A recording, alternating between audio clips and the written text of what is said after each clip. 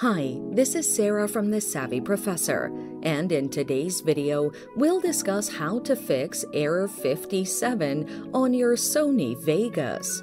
But first, what does error 57 mean? Error code 57 means your machine is not licensed to run the game. The following are some of the causes of the error cache and old cookies, poor internet connectivity, an error in the game. Now, let's look at the best solutions to fix the error. Clear cookies and cache. Open Chrome on your device and click More on the top right of the screen. Next, click on More Tools and then Clear Browsing Data. Select All Time to delete everything.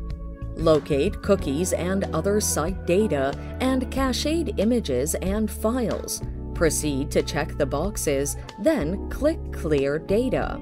Restart your PC and try to run the game. If the error still shows, it could be the internet.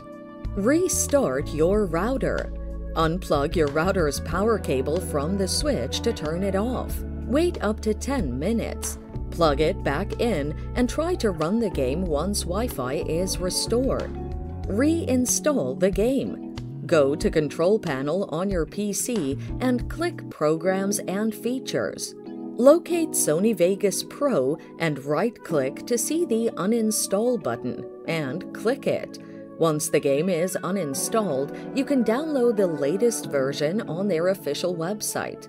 If you still experience the error, you may need to seek further guidance from Vegas Pro support by calling plus double four 0203 318 9218. The phone number is in the description. Thanks for watching. Till next time.